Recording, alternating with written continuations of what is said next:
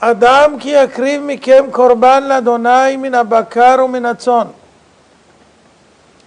אמר ריש לקיש, מהי דכתיב והיה אמונת עתיך חוסן ישועות חוכמה ודעת יראת השם היא אוצרו חוכמה זה סדר קודשים אז זאת אומרת והיה אמונת עתיך זה כנגד שישה סדרי משנה אז כתוב אמונת זה סדר זרעים וכולי, וקודשים זה חוכמה. מתברר שסדר קודשים נקרא חוכמה יותר משאר סדרים. וזה עומד בניגוד לכאורה של המשנה. המשנה בבבא בתרא, קע"ה, עמוד ב' אומרת שהרוצה להחכים יעסוק בדיני ממונות. שאין לך מקצוע מחכים בתורה יותר מהן, והן כמעיין הנובע. ואם כן, היה סדר נזיקין, צריך להיקרא חוכמה ולא סדר קדשים. אך התשובה היא שכאשר מדובר איך לחדד את המוח ולפתח את השכל, בוודאי סדר נזיקין עדיף כמבואר במשנה. מה כתוב במשנה? הרוצה להחכים יעסוק בדיני ממונות. אבל כאשר משווים את עצם הנושאים, בוודאי עדיף סדר קודשים, שהוא עוסק בעניינים אלוהיים, עבודת הנברא לבורא, אשר ממנו מתמלא האדם יראת שמיים. כבר למדנו תכלית חוכמה, תשובה ומעשים טובים. אז ממבט זה יותר מתאים סדר קודשים להיקרא חוכמה, מפני שהאדם מתעלה על ידו להשגת רמות, והחוכמה האמיתית היא שיש בה יראת שמיים, כמו שכתוב, הן יראת השם, היא חוכמה, והן זה אחת ביוונית.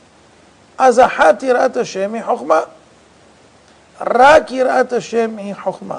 ממילא, כל דבר שיש בו יותר יראת השם, לחוכמה יחשב.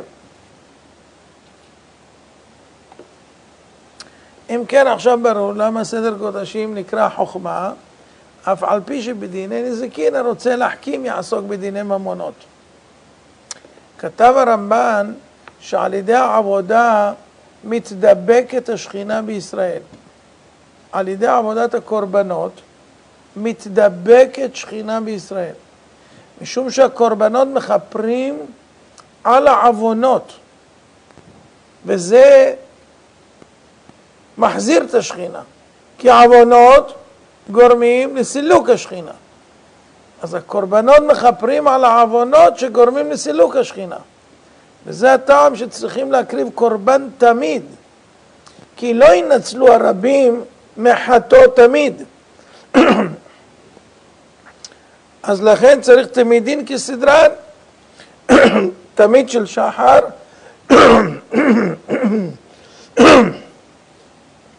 תמיד של שחר, סליחה, ותמיד של בין הערביים. ובהיות שמעשי האדם נגמרים במחשבה, בדיבור ובמעשה. כל מעשה של האדם נגמר על ידי מחשבה שהוא חושב, הדיבור שהוא מדבר והמעשה שהוא עושה. ובחטאו פגם על ידי כולם, לכן לכפר על מעשיו, מביא קורבן שיש בו גם כן מעשה דיבור ומחשבה ומעשה. זאת אומרת, ושמח את ידיו זה כנגד המעשה, וידוי שהוא אומר זה כנגד הדיבור, והקרב והקרעיים זה כנגד המחשבה. הרמב"ן מפרש, הרמב"ן מפרש שהמילה קורבן הוא מלשון קריבה ואחדות. שהקורבנות הם הייחוד, כמו שבאר רבנו בחיה. ומזה אנו רואים שעניין הקורבנות רומז על סודות מאוד נעלים. אבל אפילו מי שלא בא בסוד השם, יכול להשיג עד היכן הדברים מגיעים מזה שנחרט ברית על הקורבנות.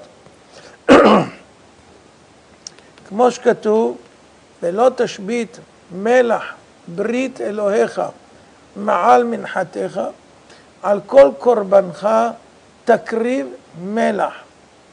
באר הרמב"ן, שהבחינה של ברית היא שיש קיום העולם בקיום הברית.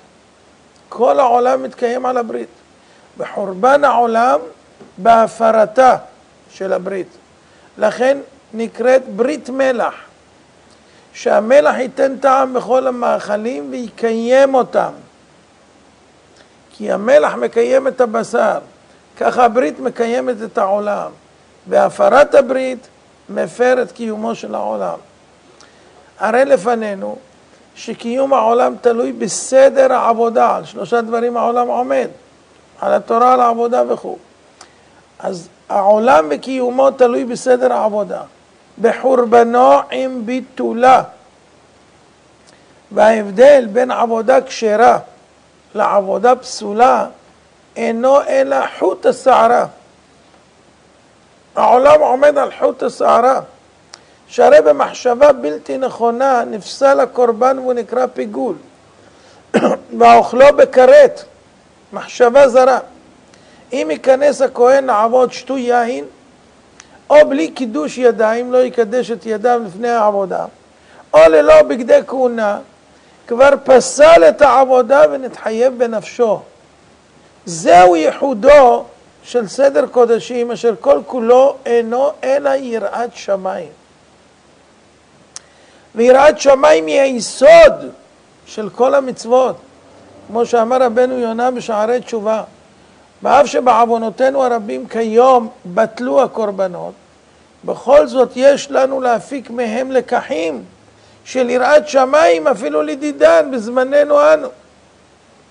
מצאנו למשל עניין של ברית מלח אפילו בנוגע לבין אדם לחברו.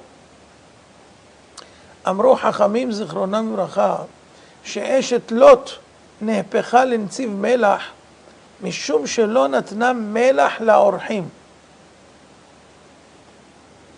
בשביל זה היא צריכה להפך למלח. היא לא כפרה בעצם הכנסת אורחים. רק במנהג של מלח בלבד. בזה היא כפרה. האם בלי מלח אין מצווה של הכנסת אורחים? אה, פרופסורית מאוניברסיטת סדום. אבל העניין הוא שהמלח מראה על הברית הקיימת בין הבריות, שכולם נבראו בצלם אלוהים, ועל כל אחד לדאוג לטובת חברו. וכמו שהמלח קיום לעולם, כן החסד נחוץ לקיום העולם. ומאידך, כמו שהמלח הוא חורבן, כמו שכתוב בארץ מלאכה לא תצמח, כן המתנכר לרעהו ממית פירוד בין הבריות בחורבן העולם.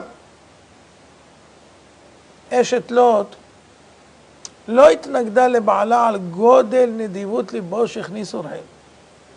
אבל היא התנגדה לרעיון שיש ברית בין הבריות.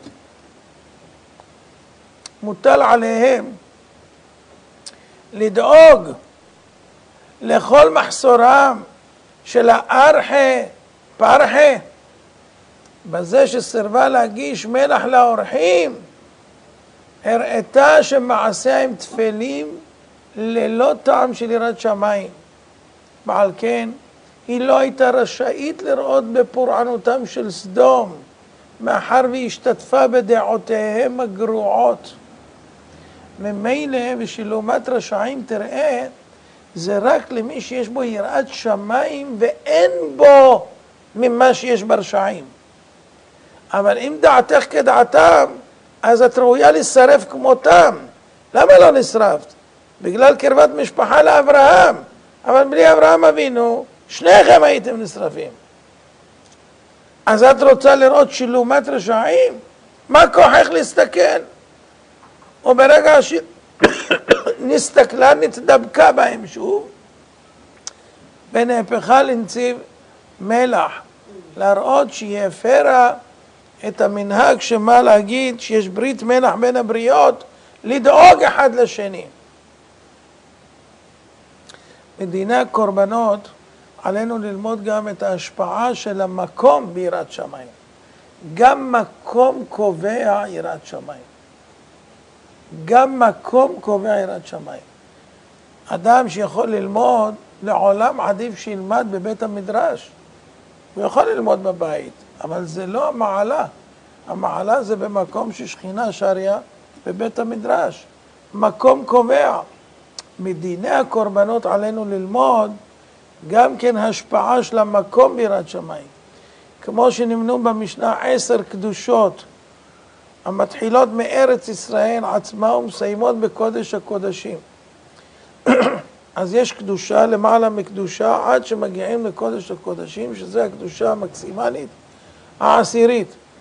כן, בנוגע לעבודת היחיד, חשוב לדעת השפעת המקום. זאת אומרת, אפשר ללמוד במושב ינון, ואפשר ללמוד בבני ברק, שזה עיר של תורה, ואפשר ללמוד בית המדרש קהילות פז, שזה בתוך העיר עוד יותר, ושנבנה על ידי מתנדבים יהודים בנדבת הלב, שזה מקום שאין כזה בארץ בכלל, אם בעולם, שנבנה מקום כזה, דוגמת המשכן. אז מקום כזה משפיע יראת שמיים. אם כן, בזוהר הקדוש כתוב על הפסוק ויאמר איש האלוהים ארפה לה. אלישע הנביא אמר לגחזי להרפות מן האישה שבנה מת ופה הוא נקרא איש האלוהים. שואל הזוהר הקדוש, מה ישנה הכה? דאמר איש האלוהים וכד הווה במטה אלישע. פה, כשהוא בהר, בהר, קורא לו איש האלוהים. אבל כשהוא היה בעיר, קורא לו אלישע, לא קורא לו איש האלוהים. מה השוני? למה? אלא הכה ודאי איש האלוהים. פה שהוא בהר, ודאי איש האלוהים. זה המקום. המקום, מקום של בדידות, בלי קהל, בלי אנשים, בלי כלום. מקום המיוחד שקל מאוד להתנבא, להתחבר לקדוש ברוך הוא, כמו שהיו כל רועי ישראל, הנביאים וכולי וכולי, האבות הקדושים, במקומות שהיו זוכים לקבל נבואה. אז דווקא פה, אלא הכה ודאי איש אלוקים. דאחה חזה דוכתא ולא במטה, פה הוא ראה מקומו, זה מקומו. המקום הזה, יש בו את ההשפעה, לא רק מצד האיש, אלא מצד המקום. ולא בשעתה דאבו בני נביאי קמא, גם לא בשעה שהוא נמצא עם בני הנביאים, אלא בשעה שהאדם נמצא לבד ומתייחד עם הקדוש ברוך הוא, אז הוא הופך להיות איש האלוקים. אדם שנכנס לבית המדרש, הוא כבר לא איש המוני, הוא כבר בן תורה, זה כבר משהו אחר, כבר דבוק לתורה. תורה וישראל וקודשא בריחו חדו, יש לו התייחדות עם הקדוש ברוך הוא, זה המקום הראוי. שבו נדבקים בקדוש ברוך הוא, והקדוש ברוך הוא משרה שכינתו על הלומדים. אם כן הדבר מבהיל, כמה פועל המקום אפילו על נביא. אפילו על נביא. שרק במקום המתאים הוא נקרא איש האלוהים. אבל בעיר הוא נקרא אלישע. מזה צריכים ללמוד איך להבדיל בין סביבה לסביבה. בין חבורה לחבורה. יש חבורה של יראי השם, של הדבקים באמת, שמחפשים את האמת, ויש חבורה של רכלנים, ספרי לשון הרע, ליצנים וכולי. בין לומדי התורה אני מדבר, לא מדבר על אנשים ברחוב. אז יש להבדיל בין חבורה לחבורה, בין מקום הגורם לו טרדות ובלבולים, לבין מקום שיכול להתפנות מכל דבר המפריע ולהתבודד בינו לבין קונו. מקום כזה שאנשים עוזבים את העבודה ובאים בשביל ללמוד תורה ולפרוש מאבלי העולם, איזה נחת רוח יש לקדוש ברוך הוא. והקדוש ברוך הוא ודאי משרה שכינה במקום זה. אז לכן רואים מפה שקודשים זה חוכמה, והחוכמה הגדולה ביותר זה שאדם ידע לעבוד את הבורא במקום הנכון, בחבורה הנכונה, במעשים הנכונים, במחשבה, בדיבור ובמעשה, אמן ואמן. רבי חנניה בן שאומר, עשו הקודש ברוך הוא זה כל זה, להביא כל זה, שנה אמרנו אנחנו